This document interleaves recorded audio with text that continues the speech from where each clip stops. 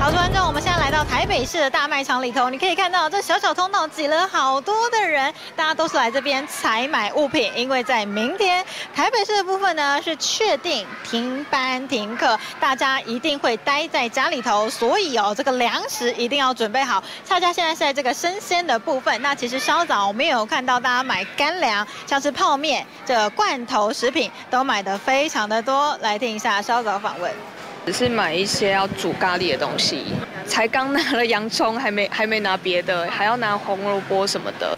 好，我们现在来到生鲜蔬菜这一区，你可以看到在架上部分呢，都有一些抢购一空的状况了。大家呢都通常是来挑这个可以久放的叶菜类，哦来挑选，因为可以放的比较久。好，另外看到呢是在这个结账的柜台，也是哦，你今天呢要排队才能够出卖场，因为呢真的是太多人都来到这边准备物那卖场也相当贴心哦，在台中以北的卖场呢。他们都有临时设置了一个防灾专区，而在防灾专区呢，不是食物，而是一些用品，像是这个电池啊、手套、雨衣等等呢，他就直接帮你准备好了一个专区，你来这边呢就可以直接来挑选，来帮助大家呢这一次的这个防灾工作做得更完备。还有以上是现场掌握最新，再把时间交还给彭磊。大家晚安啊！现在很多人应该是在问说，到底有没有机会放到两天的台风假吧？因为呢，现在看起来，当然这个时间点啊，我们看到啊，就是外围环流的影响，在宜兰这边呢，其实啊，间歇性的风雨已经逐渐越来越明显了。可是呢，其实啊，包括现在各个区域的风跟雨都还没有达到放假的标准。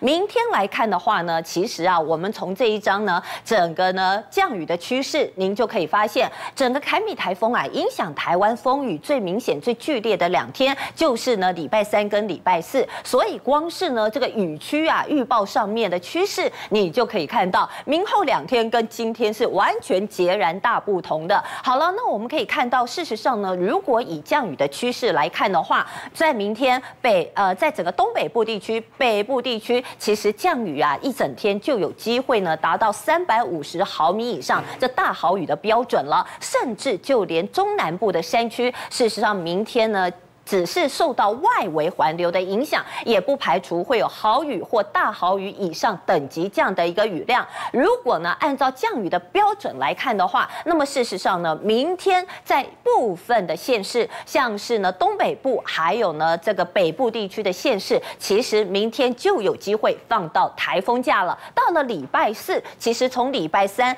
的。深夜一直到礼拜四的清晨，事实上是台风影响最剧烈的时候。可是呢，中南部地区来看的话，礼拜四的一整天其实啊都是呢强风豪雨的。所以在礼拜四放台风假，事实上台湾大部分的县市其实都有机会放到。只不过呢，这两天来看的话呢，事实上放假的县市其实不尽相同。而且我们也要特别提醒大家注意，这次呢在总雨。雨量预估的部分，气象署罕见对于中南部地区的总雨量预估最高达到了，你可以看到中部的山区还有南部的山区最大的总雨量预估是来到了一千八百毫米，这是非常罕见的一个在这么高值的一个总雨量预估。所以呢，我们要特别提醒了，在从这个明天开始，甚至一直到礼拜五这一段时间来看的话，事实上呢。我们要特别呼吁整个西半部地区，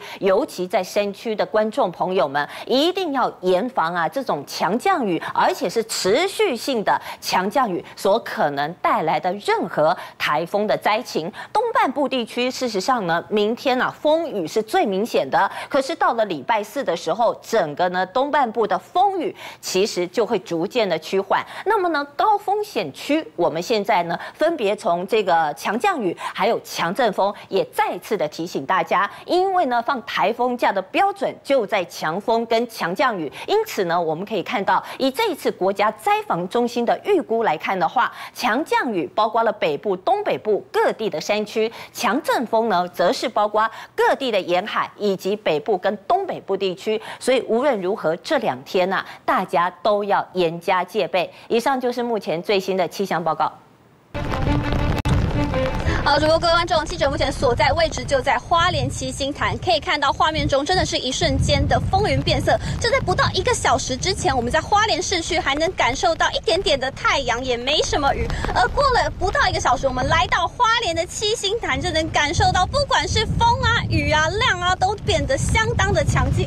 而七星潭呢，也早在下午的两点就已经拉起了封锁线，要禁止有观浪的游客来进入。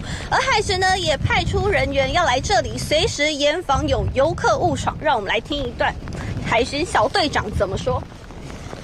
哎，呃，花莲县政府已于今日下午两点发布禁限制公告，那我们海巡人员将在暗记拉设封锁线，防止民众跨越，以维护民众的生命安全。那如民众持续跨越屡劝不听者，我们将本队将将依灾害防救法第五十五条去做函送。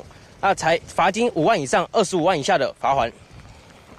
就怕好，我们就怕有游客啊冒着生命危险，想要来体验什么叫做中台强浪的威力，会误闯，所以海巡随时都在这里戒备。我们也听到海巡呢说呢，其实这个下午呢，游客是整个来客数是不到三十个人，相相相信大家都已经感受到中台的威力，千万不要看呢，好像一时之间没有下雨就轻忽，还是要在家做好防台准备。以上就是现场的最新，将时间镜头。交还棚内主播，可以看到大雨不断的下，雨是来的又快又急，马路上都已经积水，经过的车辆都溅起了巨大的水花，机车骑士也赶紧穿起雨衣，并减慢行车的速度。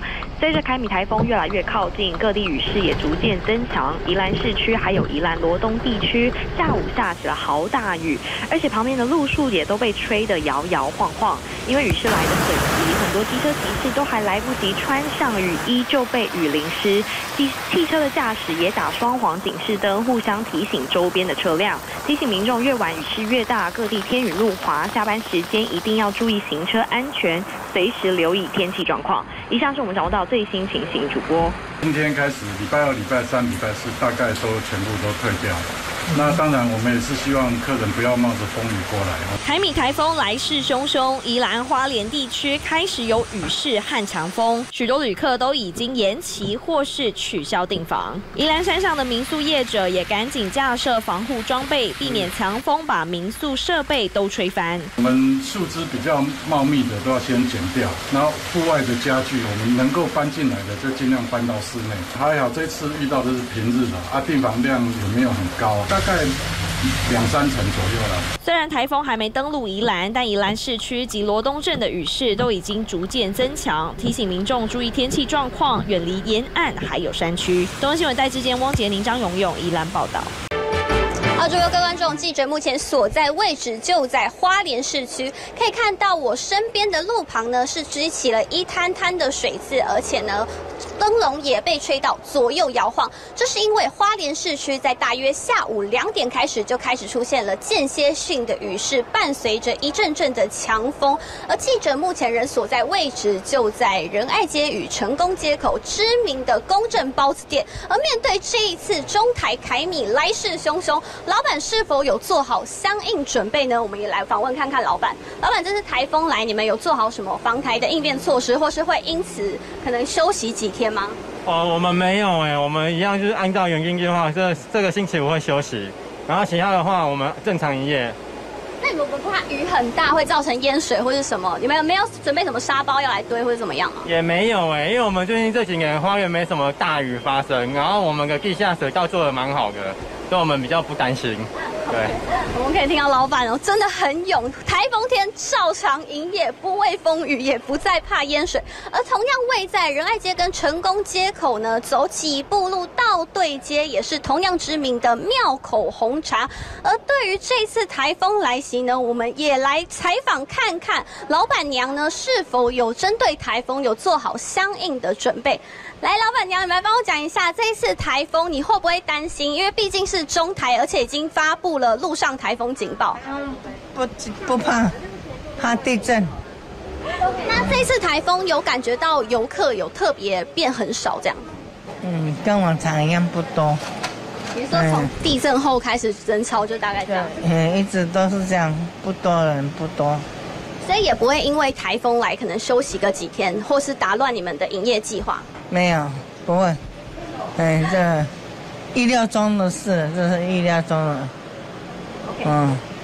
可以听到花莲人大概是因为地震过后心脏都被训练得非常强，所以呢面对台风这些名店呢通通是要照常营业。